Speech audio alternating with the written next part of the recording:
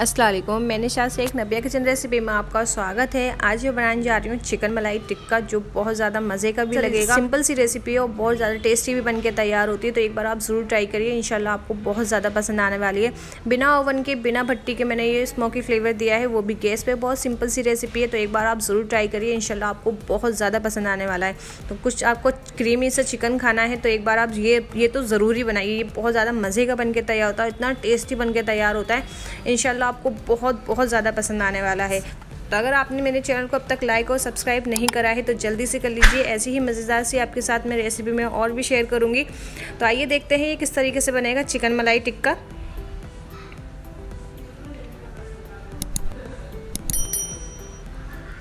आइए बनाना शुरू करते हैं। तो मैंने काफ़ी अच्छी तरह से वॉश कर लिया है चिकन और इस तरीके से छन्नी के बर्तन में रख लिया है, जिससे कि जितना भी एक्स्ट्रा पानी है वो निकल जाए।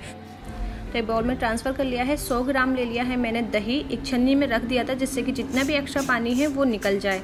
दो चम्मच ले लिया है मैंने अदरक लहसन का पेस्ट एक चम्मच ले लिया है गरम मसाला पाउडर आधा छोटे चम्मच लिया है काली मिर्च पाउडर एक नींबू का रस ले लिया है, ये भी ऐड कर लेंगे। एक चम्मच ले लिया है फूल भर के लाल मिर्च पाउडर आधा छोटे चम्मच लिया है हल्दी पाउडर दो छोटे चम्मच ले लिए हैं धनिया पाउडर एक चम्मच फुल भर के ले लिया है चाट मसाला पाउडर। नमक लेंगे स्वाद अनुसार। और दो पिंच ले लिए हैं मैंने रेड फ़ूड कलर तो इन सभी चीज़ों को अच्छी तरह से मिक्स कर लेंगे। ये देखें इस तरीके से आपको काफ़ी अच्छी तरह से मिक्स करना है। ये देखें काफ़ी अच्छी तरह से मैंने मिक्स कर लिया है। एक चम्मच फुल भर के ले लिया है कसूरी मेथी। तो कसूरी मेथी एक चम्मच ले लिया है और इस तरीके से साफ़ कर लेंगे जिससे कि बड़ी बड़ी डंडियाँ हैं, वो निकल जाएँ। तो ये देखें, काफ़ी बड़ी बड़ी डंडी है, क्योंकि इससे फ्लेवर थोड़ा सा टेस्ट अच्छा नहीं आता है तो इस तरीके से हाथ पे, हथेली पे रखेंगे और इस तरीके से क्रश करके ऐड करेंगे। इससे फ्लेवर भी और टेस्ट भी कसूरी मेथी का काफ़ी बढ़ जाता है। तो कसूरी मेथी को भी अच्छी तरह से मिक्स कर लेंगे चिकन में। तो अगर आप हाथ से करना चाहते हैं तो हाथ हाथ से भी कर लीजिए। तो ये देखें इस तरीके से ऊपर नीचे करते हुए काफ़ी अच्छी तरह से मिक्स करना है और कट का भी आप ध्यान रखिए कि अच्छी तरह से रफ़ करते हुए आपको कट के अंदर अप्लाई करना है। इससे फ्लेवर जो है अच्छी तरह से चिकन का बढ़ जाएगा। तो ये देखें इस तरीके से तकरीबन एक से डेढ़ घंटे के लिए कवर करके रखेंगे। अगर आपके पास में ज़्यादा टाइम है तो ज़्यादा भी कर सकते हैं, अगर कम टाइम है तो तकरीबन दस से पंद्रह मिनट के लिए ज़रूर मैरिनेट करिए। तो ये देखिए मैरिनेट करे हुए तकरीबन एक से डेढ़ घंटा हो चुका है। ये बनाना शुरू करते हैं। तो एक कढ़ाई ले ली है मैंने। कढ़ाई में दो चम्मच ऐड कर लेंगे ऑयल और तकरीबन 50 ग्राम ले लिया है मैंने बटर। तो बटर को आपको हाफ़ मेल्ट करेंगे। ज़्यादा एकदम जलाना नहीं है बटर को, वरना फ्लेवर जो है वो बटर का ख़राब हो जाएगा। अब इसमें ऐड कर लेंगे चिकन। तो मैरिनेट करा हुआ चिकन ऐड करेंगे। तो ये देखें इस तरीके से और ऊपर नीचे करते हुए मीडियम टू हाई फ्लेम पर भुनाई करनी है।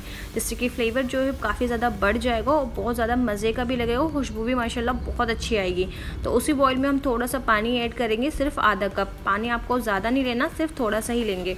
तो मीडियम टू हाई फ्लेम पर इसी तरीके से ऊपर नीचे करते हुए आपको भुनाई करनी है।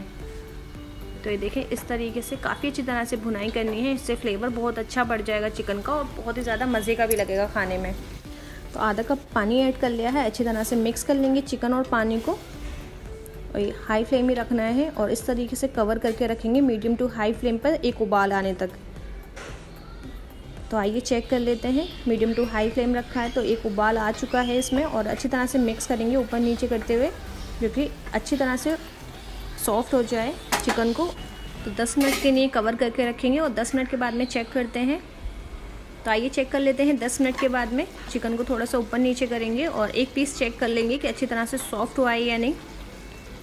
तो ये देखें, माशाल्लाह, काफ़ी अच्छी तरह से चिकन जो है सॉफ्ट और एकदम रेशा रेशा चिकन का अलग हो चुका है। इस तरीके से ही आपको सॉफ्ट करना है और हाई फ्लेम पर चिकन की काफ़ी अच्छी तरह से भुनाई करनी है। तो ये देखें चिकन की भुनाई होना भी शुरू हो गई है और क्योंकि पानी इसमें ज़्यादा नहीं था, इसलिए काफ़ी जल्दी भुनाई शुरू हो गई होना। क्योंकि इसमें ज़्यादा पानी नहीं था, इसलिए ज़्यादा टाइम नहीं लगा भुनाई में। तो ये देखें, काफ़ी अच्छी तरह से ऑयल जो है चिकन का ऊपर आ चुका है। तो चिकन की काफ़ी अच्छी तरह से भुनाई हो चुकी है। तो एक ऑयल में ट्रांसफ़र करेंगे चिकन के पीसेस को। देखें इस तरीके से, और चिकन का जो मसाला है, वो हम एक साइड से कर लेंगे, और इसी दरमियान ऐड कर लेंगे चिकन को। ग्रिल करेंगे तो ग्रिल के लिए मैंने एक छन्नी ले ली है, और इस तरीके से हम गैस पर रखेंगे, और एक एक पीस को हमें इस तरीके से एक तंदूरी फ्लेवर देना है। इससे माशाल्लाह बहुत अच्छी खुशबू आती है, बहुत ज़्यादा टेस्ट भी बढ़ जाता है। तो ये देखें, इस तरीके से हर एक पीसेस में और ऊपर नीचे करते हुए आपको ग्रिल करना है।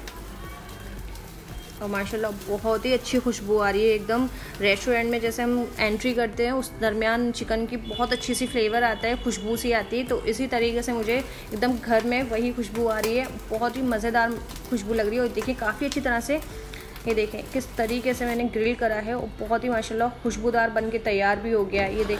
तो बाकी पीसेस भी इस तरीके से ही गैस पर ग्रिल कर लेंगे। तो ये माशाल्लाह काफ़ी जूसी क्रंची और खुशबूदार, जायकेदार माशाल्लाह बहुत ज़्यादा लग रहे हैं। तो ये देख ही रहे हैं आप कितने ज़्यादा मज़े का लग रहा है। तो आइए अब इसकी ग्रेवी तैयार करते हैं।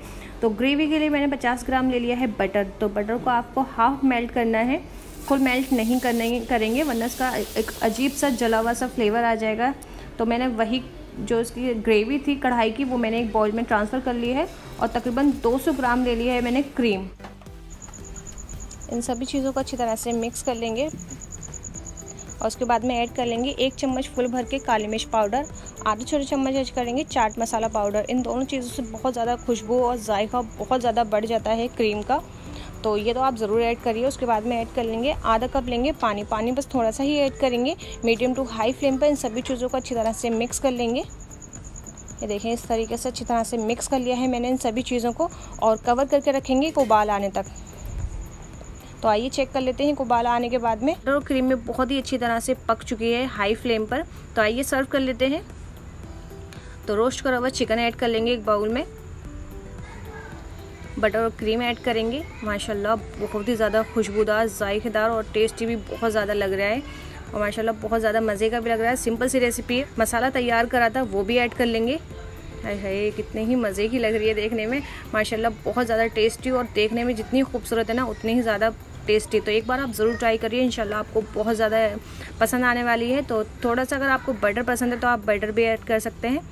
बटर को अच्छी तरह से मेल्ट करके फिर ऐड करिए इससे जायका टेस्ट बहुत ज़्यादा खुशबू बन जाएगी, बढ़ जाएगी। अगर आपको मेरी ये रेसिपी पसंद आई तो प्लीज़ नब्बे किचन रेसिपी को लाइक शेयर एंड सब्सक्राइब करना ना भूलें। कमेंट में तो आप ज़रूर बताइए कि आपको ये रेसिपी कैसी लगी। अल्लाह हाफिज़।